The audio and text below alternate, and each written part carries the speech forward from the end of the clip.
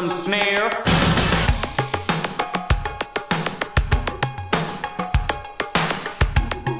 I need some more of that bass.